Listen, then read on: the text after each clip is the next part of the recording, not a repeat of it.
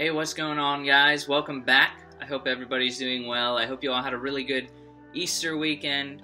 Uh, last week we got to talk about Good Friday and Easter, and it's an amazing story of how Jesus Christ conquered sin and he conquered death uh, so that we might also. And this week we're going to be talking about the prodigal son, which is super fitting because we're all kind of stuck at home, quarantine. And also, we talked about it at the deep freeze weekend that we went to. For all of those who went to that, we had a really good time diving into God's Word there and talking about the prodigal son. I think we all learned a lot, so it'll be good to touch base with that again. Uh, again, I hope you guys are all doing super well this week, staying safe, staying productive. Uh, I hope you guys are keeping somewhat of good attitudes. I'm always praying for you guys. I know it's starting to get tougher and tougher as the time goes on. But again, hope everything's going well. I'm going to open us up in a word of prayer. Dear Heavenly Father, thank you so much for this time that we have to dive into your word, Lord. Uh, I pray that you would help us to understand what you have for us. We thank you for your word, Lord, and for what it does to us, for, for its minister, ministry to us. Uh, I pray that we would be using our time productively, Lord, spending time with you. I pray that you would give us a thirst and a hunger uh, for spending time with you over this time where it's easy to get distracted and to sort of fill our lives with entertainment. I do pray uh, for a deep hunger and thirst for you uh, and also an understanding of what you have for us in this time. Uh, I pray over the next few minutes when we're talking about this that we would all be able to be attentive, Lord, and just receive what you have for us. In Jesus' name I pray. Amen. So, like I said, we're going to be in Luke chapter 15 today. Uh, and Luke chapter 15 actually has three parables in it. And the first parable is that of the lost sheep, second is that of the lost coin, and then the third is the prodigal son, which could also be labeled the lost son. Um, all three of these parables in the entire chapter of Luke 15 emphasize these stories that revolve around the idea of something lost being found. They're awesome stories to get into. I really encourage you guys to go and read the first part of Luke chapter 15. If you guys were at Deep Freeze, we talked about all of these parables. It was a really cool time awesome to learn. And we are going to, like I said, we're going to be touching base with the parable of the prodigal son this week here. But be sure to go and read the rest of Luke chapter 15 on your own. It's not very long. Uh, it's they're great stories. So I encourage you to do that. But we're going to jump right in with Luke chapter 15, starting in verse 11, uh, with the prodigal son. And he said, There was a man who had two sons, and the younger of them said to his father, Father, give me the share of property that is coming to me. And he divided his property between them. Not many days later, the younger son gathered all he had and took a journey into a far country. And there he squandered his property in reckless living. And when he spent everything, a severe famine arose in that country, and began to and he began to be in need. So he went and hired himself out to one of the citizens of that country, who sent him into his fields to feed the pigs. And he was longing to be fed with the pods that the pigs ate and no one gave him anything. So, this first part of the story is actually pretty grim. Begins with a son who is trying to claim his inheritance before it's time. Uh, there are a lot of reasons that he might have wanted to do this. Again, this is a story, it's a parable, uh, but there are so many lessons that can be taken away from it. Maybe this son was tired of living under his father's rules, under his father's roof, and he had to. He just wanted to live life on his own, be able to make his own decisions.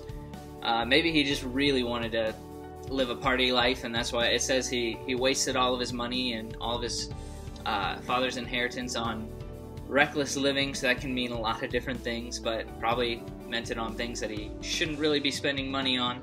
Uh, and then a famine arose in that country that he went to. He ran away from his father's house, of longing for freedom. And then a very difficult time came, and he realized that it wasn't really freedom at all.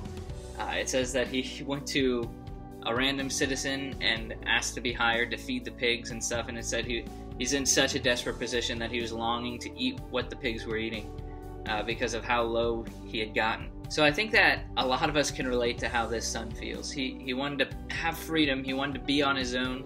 I know, especially growing up, there's there's a lot of rules in place, whether it's by like your parents or teachers, or maybe even some teachings of the Bible that you feel like are holding you back uh, from doing what you want to do like I said, we want to do what we want to do. We want to do it when we want to do it. We want to do it how we want to do it. That's a lot of how we want to do it, but it's the truth. We want to do our own thing. Uh, and sometimes it can feel like these rules are in place to hold us back from freedom. And that's what this son was feeling. And that's why he ended up running away from his household, because he wanted that freedom of doing his own thing. But I think the very beginning of this story is trying to help us understand that doing our own thing and being able to do whatever we want whenever we want to isn't actually freedom. Uh, he, he thinks that it's freedom and he, he believes that the best possible thing for his life is to be able to do whatever he wants. Uh, but then we see that the moral of the story is that his life was so much better at home. Uh, these certain things that were set up in his home life, whether it was rules from his father or uh, living in his father's house, they weren't there to hold him back uh, from experiencing an amazing life. They were there to keep him safe. They were there to help him experience the best life possible. Uh, like I said, his freedom leads him to being a slave. Literally, he's he's serving some random citizen, helping feed the pigs. It says he, he like I said, he he wants to eat what the pigs are eating. Uh, and then we're going to continue on reading, and we're really going to focus in on this coming home aspect. I'm not going to get too much into what the other brother is thinking uh, in this whole thing, but I want us to understand that sometimes our idea of freedom is not really what freedom is. And that's why we have God's Word, and that's why we spend time with God, is so that we can sort of get a better gauge of how to live this life and how to experience freedom. Uh, so I'm going to continue reading in verse 17. But when he came to himself, he said, How many of my father's hired servants have more than enough bread, but I perish here with hunger?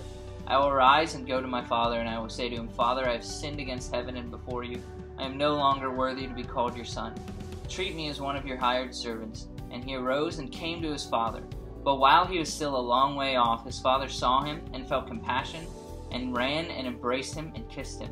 And the son said to him, Father, I have sinned against heaven and before you. I am no longer worthy to be called your son. But the father said to his hired servants, Bring quickly the best robe and put it all put it on him, and put a ring on his hand and shoes on his feet, and bring the fattened calf and kill it, and let us eat and celebrate. For this my son was dead and is alive again. He was lost and is found, and they began to celebrate. So the son, like I said before, has realized that his life in his father's house, even the worst possible life in his father's house that he can imagine, is far beyond the life that he's living right now for himself and by himself on his own. Uh, and so he decides to come home. And I want you guys to understand that there's so many lessons to be taken away, but I think a really important one is this decision to come home. It, it's not to be overlooked. It's not something small uh, it's a huge thing of saying like I am going to humble myself and I'm going to return home. I'm going to go to my father and I'm going to tell him I was wrong uh, and beg for him to take me back. The, this idea of having a humble heart is something that is extremely lost in our culture today and all around us. There's an idea that we deserve uh, so many different things, and I want you guys to know that we don't. Uh, this is something you can especially learn from our Easter message last week. We don't deserve God's grace. He's freely going to give it to us. And that's what makes this one verse extremely beautiful where, where it says, While he was still a ways off, his father saw him and came running. And then the father gathers the rest of the household and they celebrate the son's return. Uh, the son's humble heart is rewarded.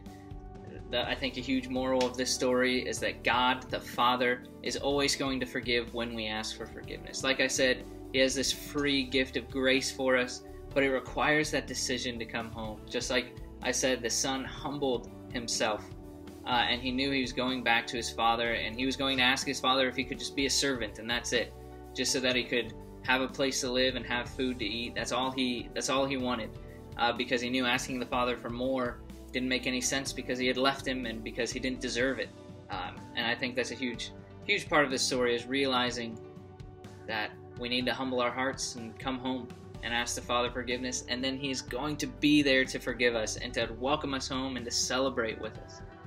Uh, and that's something I want you guys to be thinking about. I know being at home stinks, uh, and so I'm not I'm not trying to like coerce you guys into having a good attitude about being stuck at home. But while we're stuck at home, we might as well allow it to be a reminder uh, that the Father is calling us home and that there's every opportunity, especially right now, to make a decision to come to Him, uh, to to spend time in His Word. I mean, if you're if you're not saved, to make a decision to come to Him for the first time. If you have been saved and you're just now realizing, like, wow, I don't read the Bible ever. I never spend time with God. Now is the time to turn around to humble your heart and to come home to the Father because He is waiting for you. He is happy to receive you and celebrate with you guys. Uh, like I said, go and read the rest of this. I'm not going to get too much into it right now. There's the rest of the story sort of gives to the perspective of the other son, and the first two parables are also really important to read. So I want to encourage you guys to go read Luke chapter 15 just any time this week. I know you guys have a lot of time on your hand. Uh, I hope you guys are all doing well with school and stuff. Again, if you need anything, please let me know. I'm here for you guys. Uh, if you have my number or I'm on Facebook or Instagram, please contact me if you need anything. I'll be trying to stay in touch with you guys as well, though.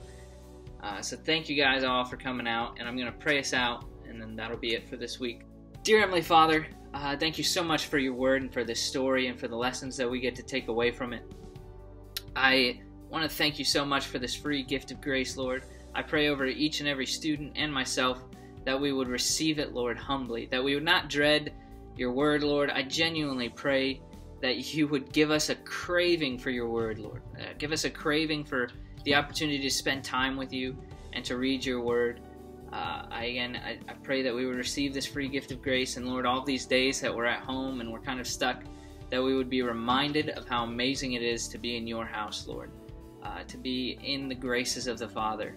Uh, I just pray that over each and every student, Lord and over all of the leaders and everyone watching this, Lord. I, just, I pray that we would receive you, that we would come home and we'd make that decision. And I just pray for safety, Lord, for everybody as we go throughout our weeks. Pray that we would be able to stay productive uh, and keep a good attitude during all this. Thank you so much for the lessons that you have for us. And I pray these things in Jesus' name. Amen. Again, thank you guys so much for joining us this week. I didn't have music this week just because I'm trying to figure out the best way to do it. I've been experimenting here and there uh, but there will probably be music next week. So thank you guys so much for being here. Have a blessed week.